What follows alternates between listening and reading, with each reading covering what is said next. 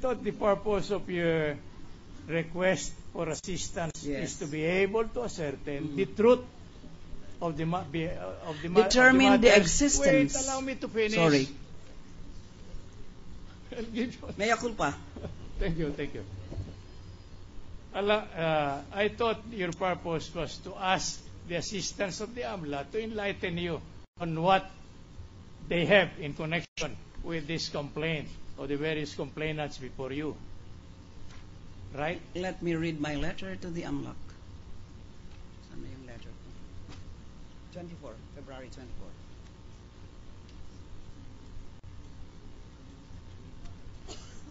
Twenty-four.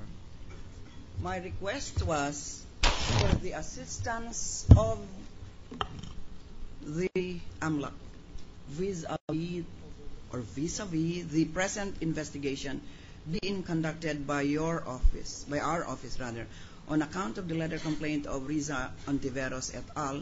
by way of providing relevant information bearing on the financial transactions, if any, of the respondent and related transactions.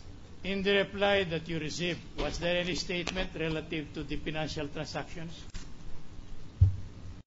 that you were asking assistance?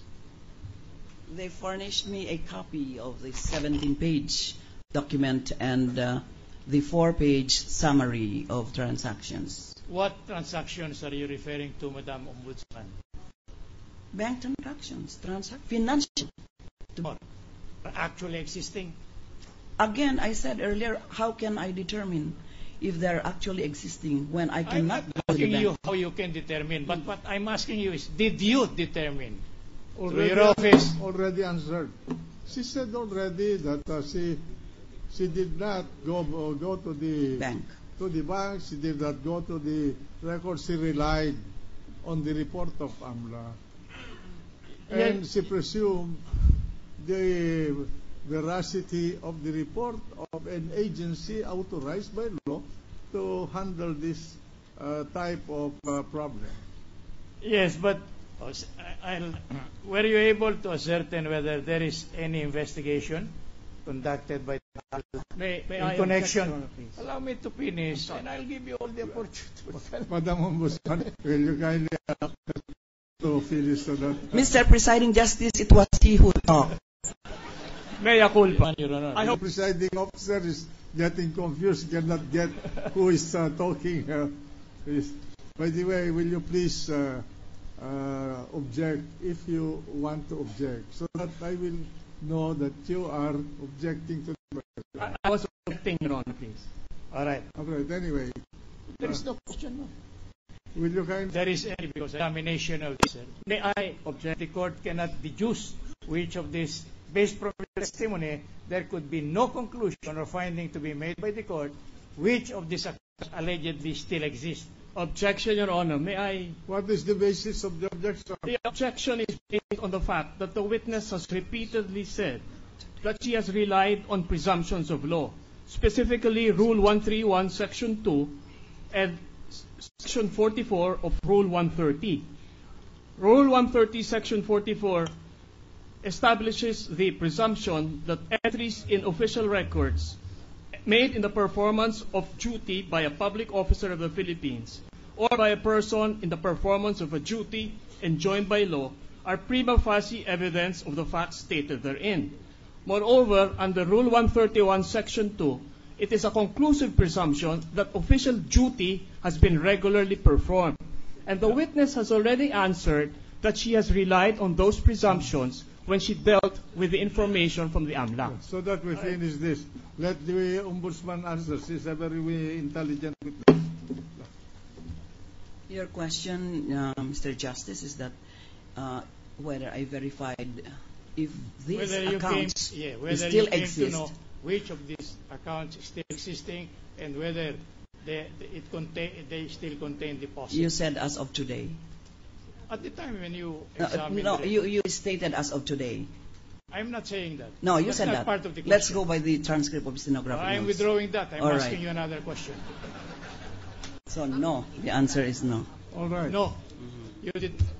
You did not. All right. That's all, Your Honor. All right. Thank you, Madam uh, Ombudsman. Recross? Thank you too. Nothing, Your Honor, please. No more recross? No more recross. All right. Thank you. Thank you, We are, Madam. uh, we are Mr. through. President. Ombudsman. We are through Mr. with the President. witness, Your Honor. Ah, meron. Mr. President, Just a minute. Uh, I just want to clarify. Are you, uh, are the two panels uh, through with the ombudsman? I'm through with the redirect, Your Honor. And there is an announcement by my colleague here that he has no recross. That's precisely. I'm asking you if you are through, We are through. I'm defense is through, Your Honor. Or the defense is uh, through with the witness. About the prosecution? We are through, Your Honor. please. All right. Thank you. Uh, Mr. Mada- President. Madam uh, Ombudsman, uh, thank you for Mr. uh, President. bearing with us. Yes? uh, Senator Miriam Defensor Santiago wishes to ask a few Ano? questions. Sige.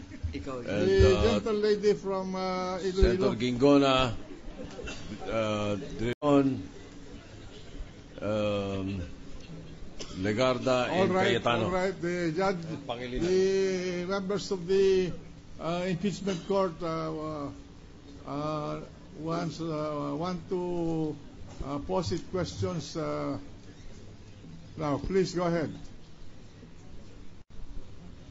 May I ask, Mr. President, if the Senate engineer can put, put on all the lights? Thank you. I will ask first a very simple question.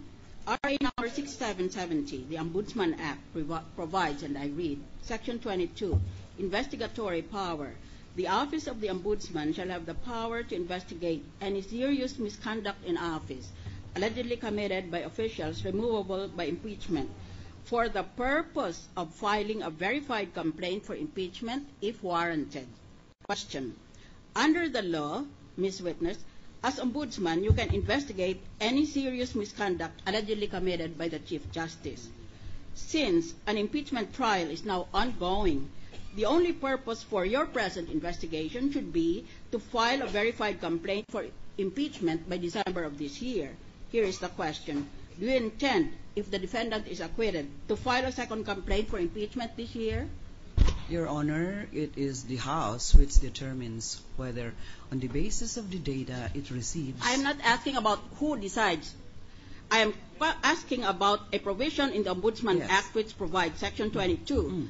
The Office of the Ombudsman uh, shall have power to investigate, etc., for the purpose of filing a verified complaint for impeachment if warranted. That is your job. So is that job being undertaken now by the Ombudsman with its present investigation? Since there's no point investigating, uh, an impeachment trial is already ongoing. Therefore, under Section 22, your sole purpose could only be to file a second complaint for impeachment after the one-year ban provided by law. That Therefore, I'm asking you the question, do you intend, if in this first impeachment trial, the defendant is acquitted, do you intend to file a second impeachment complaint against him after the one-year ban? Madam Senator, if the if the charges presently being investigated by the Office of the Ombudsman are not included in the impeachment charges, then I don't see any reason why there should be no chance to file another impeachment complaint. I'm sorry, I don't get the question very correctly. Mm. The answer very correctly.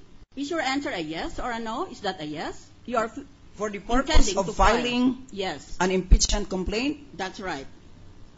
if that is warranted after a, the investigation, conclusion of Thank the you. investigation, Yes, that is what the law says. For the purpose of filing a verified complaint for impeachment if warranted. If you think it, it is warranted, Then we- then your only purpose will be to file a second impeachment complaint. Isn't that so? Is that a fair question? if it's warranted, we will. All right, thank you. That is the only question. So we are placing the defendant on notice that if, even if this court acquits him, he can expect a second impeachment complaint by December this year.